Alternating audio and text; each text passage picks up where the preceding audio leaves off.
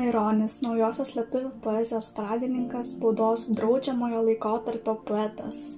Visa poezija yra skirstama į iki maironinę ir po maironinę. Įvedė silabotoninę eilėdarą.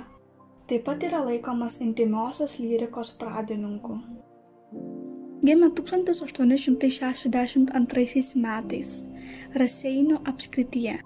Jo tėvai buvo laisvi valstiečiai, palaikę artimus ryšius su aplinkėjusiais bajorais. Šeštoje klasėje pradėjo rašyti eilėraščius lenkiškai. Kauno kunigų seminarijos dėstytojas ir rektorius, Peterburgo dvasinės akademijos profesorius, jam taip pat buvo sutiktas Vytauto didžiojo universiteto garbės daktaro vardas. 1932 metais mirė ir buvo palaidotas Kaune. Studijuodamas skyrė laisvą laiką domėjimusi Lietuvos istorija, kūrybai, patriotiniai veiklai. Raštuose Maironį matome kaip kuniga rektorių, o kūryboje užsidegantis, nusivylęs, susimastęs, jautrus. Parašė vieną eilėraščio rinkinį Pavasario balsai, kiti žymus kūriniai Trakų pilis Lietuva brangi. Poezijos rinkinys Pavasario balsai yra svarbiausia knyga lietuvių lyrikos istorijoje Anot Vinco Mykolaičio Putino, savo lietuviško žodžio galia ir poveikį mūsų sąmoniai, žodžio, padėjusio mums rasti save, apsispręsti ir visą amžių pasilikti su savo kraštu, su savo tauta. Šio rinkinio jūsų pasirinkti eilėrašiai gali būti panaudoti rašant rašinį. Aptarsiu du iš jų, nebeužtvenksi upės ir užtrauksime naują giesmę. Nebeužtvenksi upės.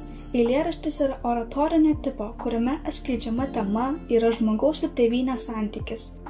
Keliama problema, koks turi būti žmogaus ryšys su tėvynė. Ši tema susijusi su kova prieš Lenkų dvarininkišką į nacionalizmą ir tuo metu eilėraštis buvo drąsus iššūkis. Yra jaučiamas stiprus ryšys tarp žmogaus ir tėvynės, Lyrinis eilėraščio subjektas ragina vyrus lietuvius greuti sienas, tikimasi, jog sūnus išvys auštančią dieną. Yra kviečiami žmonės ginti kalbą, žemę, jos būdą.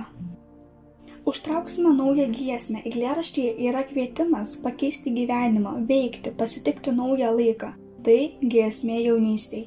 Keliama problema, kokį žmogų galima vadinti tikrų lietuvių. Tėvynės meilė yra svarbi Maironio eilėraščių tema. Už ją reikia kovoti, vien žavėtis neužteks.